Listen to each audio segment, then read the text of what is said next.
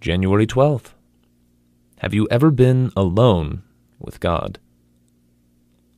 When they were alone, he expounded all things to his disciples.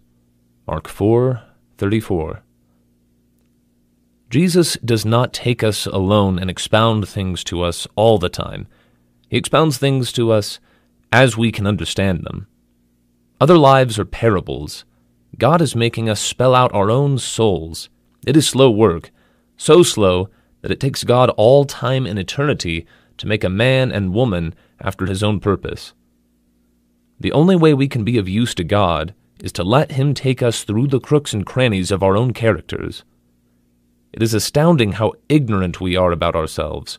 We do not know envy when we see it, or laziness, or pride. Jesus reveals to us all that this body has been harboring before His grace began to work. How many of us have learned to look in with courage? We have to get rid of the idea that we understand ourselves. It is the last conceit to go. The only one who understands us is God. The greatest curse in spiritual life is conceit. If we have ever had a glimpse of what we are like in the sight of God, we shall never say, Oh, I am so unworthy, because we shall know we are beyond the possibility of stating it. As long as we are not quite sure that we are unworthy, God will keep narrowing us in until He gets us alone. Wherever there is any element of pride or of conceit, Jesus cannot expound a thing.